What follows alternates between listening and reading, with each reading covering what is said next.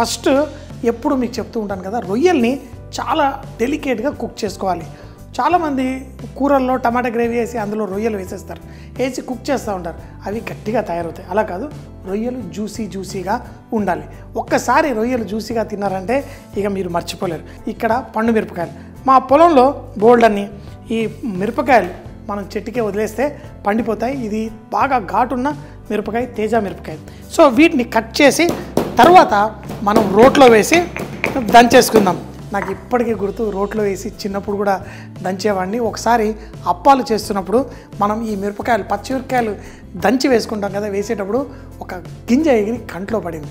అప్పుడు నేను ఏడ్చిన ఏడుపు అంతా ఇంత కాదు. ఇలా మనం ఈ పండు మిరపకాయల్ని మంచిగా కచ్చపచ్చగా దంచేసుకుందాం. స్టవ్ ఆన్ చేసి మనం ఆ రొయ్యల్ని ఈ పండు మిరపకాయల్ని ఫ్రై చేసి మనం పెట్టుకుందాం. మన ఈ చుక్క కూరతో డిష్ రెడీ అయిన తర్వాత దాంట్లో ఈ పండు మిరపకాయ ప్లస్ మన రొయ్యల్ని ముందే వేయించి పెట్టుకుంటాం కదా లాస్ట్లో వేసి కలిపేసి వడ్డించేసుకుంటే సరిపోతుంది. సో పర్ఫెక్ట్ ఇప్పుడు ఇందులో నూనె వేసి మన రొయ్యలు ఫ్రై చేసుకుందాం. నూనె నూనె. రొయ్యలు. రెడీ దీన్ని ఇలా వేడి వేడి నూనెలో వేసేయండి. దీంతో పాటు మన ఈ పండు మిరపకాయలు రోట్లో వేసి దంచాను. దాన్ని కూడా ఇందులో వేసేయండి. వేసి చూడండి ఈ రొయ్యల్ని ఈ విధంగా ఆ నూనె పొయ్యేంత వరకు లైట్గా వేయించేసుకోండి. మరీ ఎక్కువ ఉన్నాయనుకోండి బ్యాచులు బ్యాచుల్లో చేసుకోండి. ఇప్పుడు ఈ నూనె పోయేసరికి ఈ ఘాటుకి కొంచెం దగ్గు కూడా వచ్చే ఛాన్స్ ఉంటుంది. ఇందులో ఫ్రై చేస్తూ ఫ్రై చేస్తూ కొంచెం లైట్గా ఉప్పు చల్లండి. రొయ్యలు సైజు కొంచెం చిన్నగా అయిపోతాయి. ఎందుకంటే ఆల్రెడీ చిన్న రొయ్యలు. అందులో మనం ఇలా ఉప్పు వేసి దీన్ని వేయించుతుంటే దీని సువాసన చూడాలి. కమ్మటి సువాసన. ఆ రొయ్యలు ఈ పండు మిరపకాయలు మన ఈ రొయ్యలు ఆ ఘాటు పీల్చుకొని మన పుల్లటి చుక్క కూరతో మనం కుక్ చేసినప్పుడు అద్దరిపోతుంది చూడండి ఈ విధంగా మనకి ఆ నూనె కూడా భలే సూపర్గా ఉంటుంది. మీరు కొన్ని విదేశీ వంటల్లో మనం చూస్తే రొయ్యలు వెల్లుల్లి ఈ రెండు కాంబినేషన్లో కూడా తింటారు. కానీ నేను కేవలం పండు మిరపకాయ ఈ రొయ్యలు. ఇప్పుడు మన చుక్క కూర రెడీ అయిన తర్వాత డైరెక్ట్గా వేసేసుకుందాం. నూనె వేసుకొని మన డిష్ స్టార్ట్ చేద్దాం. కొంచెం జీలకర్ర సన్నగా తరిగిన ఉల్లిపాయలు కరివేపాకు. కరివేపాకు లైట్గా ఇలా తుంచి వేస్తా. లేతటి కరివేపాకు భలేగా ఉంది. దీంట్లో పసుపు సన్నగా తరిగిన వెల్లుల్లి రెబ్బలు మళ్ళీ అల్లం పేస్ట్. అలాగే దీంట్లో కొంచెం ఉప్పు వేసుకుందాం ఆల్రెడీ రొయ్యల్లో కొంచెం వేసాను ఆకుకూరల్లో సహజంగానే కొంచెం ఉప్పు ఉంటుంది. మనం తక్కువగానే వేసుకోవాలి. ఈ విధంగా మనం కలిపేసుకుందాం. స్లోగా కలిపి తర్వాత మన ఈ చుక్క కూర కొంచెం ఉల్లిపాయలు లైట్గా వేగిన తర్వాత చుక్క కూర ఏదైతే ఉందో దాన్ని చాప్ చేసి వేసేసాను. అంతేకాకుండా దీంట్లో కొన్ని నీళ్ళు పోసేసుకోండి.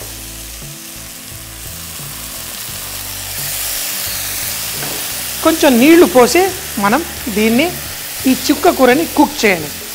ఈ చుక్క కూర నార్మల్గానే కొంచెం వేడి తాగితేనే అది పుష్ అయిపోతుంది అంటే సాఫ్ట్గా అయిపోతుంది. కానీ మనకి మంచి రంగు రావాలంటే దీన్ని కొంచెం సేపు కుక్ చేయాలి. ముఖ్యంగా నాన్ వెజిటేరియన్ అలా చేసేటప్పుడు కొంచెం దీన్ని ఎక్కువసేపు కుక్ చేసుకుంటే చూడడానికి కూడా చాలా బాగుంటుంది. కొంతమంది పేస్ట్ చేసి వాడతారు కానీ నేను ఈరోజు ఇలాగే వాడేస్తాను. సో ఈ నీళ్ళు అయిపోయేసరికి మనకి చుక్క కూర మంచి షైన్ వచ్చి చక్కగా ఉంటుంది. దీన్ని ఇదే విధంగా మనం స్లోగా ఒక ఐదు నిమిషాల పాటు కుక్ చేసుకోండి. రొయ్యలకి కొంచెం పులుపు యాడ్ చేసుకుంటే చాలా చాలా ఇష్టంగా ఎంజాయ్ చేస్తాం. మరి పులుపులో ఎన్ని రకాలు? పచ్చి చింతకాయ చింతపండు మామిడికాయ మామిడికాయ పొడి ఇలా మనం కోకం మళ్ళీ ఆకుకూరల్లో చూస్తే కూడా గోంగూరతో పాటు చుక్క కూర. మనకి ప్రపంచంలో నిమ్మకాయ ఏంటి ఏవైనా కానీ దబ్బకాయ అన్ని పులుపులు ఎన్నో ఉంటాయి. ప్రతి దాన్ని మనం వంటల్లో వాడుకోవచ్చు. మీరు పులిహోర చేసుకునేటప్పుడు కూడా నేను చెప్పిన అన్నిటితోటి మనం పులిహోర కూడా చేసుకోవచ్చు.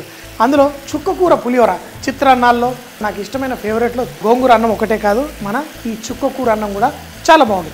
అయితే వండే విధానము దాంట్లో మనం ఏ ఆ పులుపుని ఎలా అడ్జస్ట్ చేస్తాం ఎంతసేపు కుక్ చేస్తాం. ఆకుకూర పులుపుని మనం ఎక్కువసేపు కుక్ చేయక్కర్లేదు. అదే కనుక చింతపండు పులుపుని ఎంత ఎక్కువ కుక్ చేస్తే దాంట్లో అంత కమ్మదనం వస్తుంది. అదే నిమ్మకాయ అనుకోండి మనం లాస్ట్ మినిట్లో వేసుకుంటే బాగుంటుంది.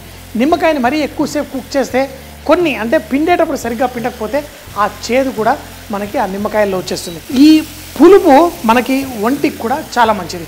ముఖ్యంగా బాగా వేడున్న దేశాల్లో అంటే ముఖ్యంగా మన ఈ ట్రాపికల్ కంట్రీస్లో ఈ పులుపుని వంటల్లో చాలా ఎక్కువగా వాడుతూ ఉంటారు. సో ఇప్పుడు చూడండి మనం రొ- మాట్లాడిన రెండు నిమిషాల్లోనే మనకి చుక్క కూర ఇలా దగ్గరకు వచ్చేస్తుంది.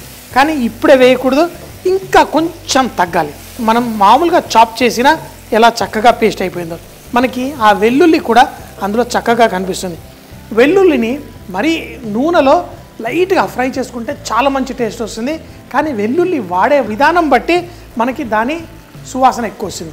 వెల్లుల్లి చాలామందికి సువాసన కంటే తినడానికి ఎక్కువ ఇష్టపడతారు. అలాంటప్పుడు పప్పుల్లో వాటిలలో వెల్లుల్లి హోల్ రెబ్బలు వేసుకుంటాం.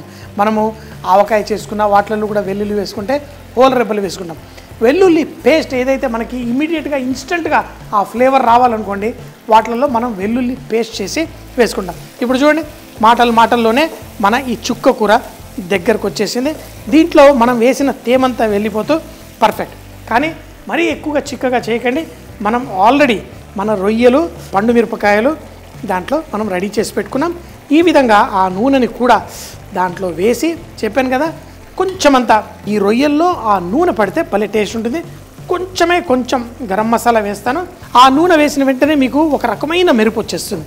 చూడండి ఈ చుక్క కూర దాంట్లో మనకి ఒక మెరుపు వచ్చేసింది. అంతేకాకుండా ఆ పండు మిరపకాయ మీరు ముందే వేసి కుక్ చేశారండి. తినేటప్పుడు మొత్తంలో ఆ టేస్ట్ వస్తుంది.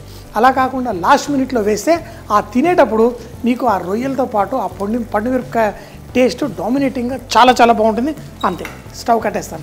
ఎక్కువసేపు కుక్ చేయకూడదు. కానీ నేను ప్రతిసారి ఉప్పు చెక్ చేస్తాను. ఈరోజు చెక్ చేయలేదు.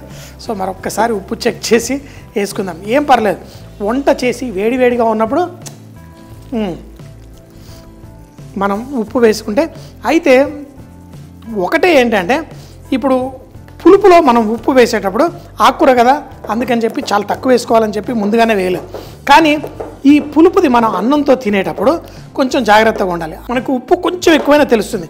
అదే గోంగూర మన చుక్కుకూరలో ఉప్పు ఎంత కావాలనేది తెలవడం చాలా కష్టం అవుతుంది నేను కూడా చాలాసార్లు పెద్ద పెద్ద మోతాదుల్లో హోటల్లో మనం చేసేటప్పుడు ఈ ఆకుకూరని చేసిన తర్వాత పక్కన కొంచెం అన్నం తీసి పెట్టి కలిపి తింటాం. అన్నంతో కలిపి తిన్నప్పుడు మనకు పర్ఫెక్ట్ ఆ ఉప్పుతనం పడిందా లేదా అది తెలుస్తుంది. ఇప్పుడు నా రొయ్యలు చక్కగా పర్ఫెక్ట్గా ఈ చుక్క కూరతో రెడీ అయింది. ఎవరైనా చూస్తే ఇది పేస్ట్ చేసి వేశారనుకుంటారు. అలా చేయలేదు మనం. ఎంతో ఫైన్గా లైట్గా చాప్ చేసేసి వేసా కానీ ఎంత పర్ఫెక్ట్గా వచ్చింది చూడండి. ఇలా ఉంటే తినడానికి కూడా చాలా చాలా బాగుంటుంది. ఇంకేంటి? ఎప్పుడు చెప్తాను కదా బీరిచిన్ కుకింగ్. వంటల్లో శ్రీమంతులు అవ్వాలంటే అన్ని రుచులు మనం సొంతం చేసుకోవాలి. ఆలస్యం ఏంటి? టేస్ట్ చేసేద్దామా? చిట్టి చిట్టి రొయ్యల్లో నుంచి ఫుల్ ఫ్లేవర్ ఎక్స్ట్రాక్ట్ చేయడము ఇలా సింపుల్గా ముందే లైట్గా కుక్ చేసి పక్కన పెట్టేసుకున్నాను. అది కూడా పండు మిరపకాయలతోటి. చూడండి.